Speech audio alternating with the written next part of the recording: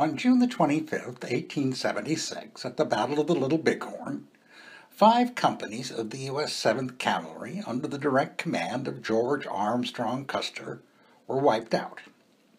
Shortly afterward, Congress commissioned a statue of Custer to be placed at West Point.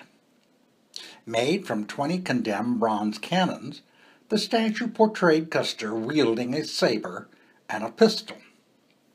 The statue was unveiled in 1879. Custer's widow, Elizabeth Libby Custer, was not happy. She wrote, The statue could not be worse than it is. The face is of a man of sixty, and the dress is so unmilitary that his brother officers shudder in looking at it. The whole costume is incongruous and incorrect. Then he is armed like a desperado in both hands.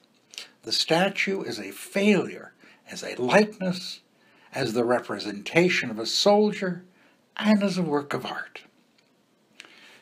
Libby Custer lobbied ceaselessly for the next five years to have the statue removed, and it was removed in 1884. Supposedly, the statue was then shipped to the workshops of the renowned architect Stanford White in New York City.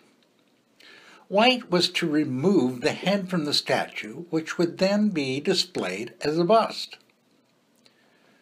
Well, White must have been very busy because he had still not gotten around to creating the bust at the time of his death in 1906 at the hands of a jealous husband. At this point, all records of the statue vanish from history. Perhaps Custer's missing head will reappear someday in an obscure junk shop or at an estate sale.